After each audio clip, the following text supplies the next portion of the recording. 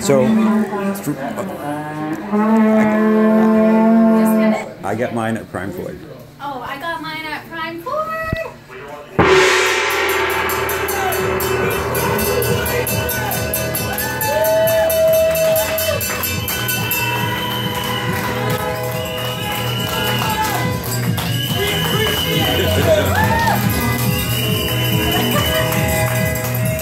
Thank you very much.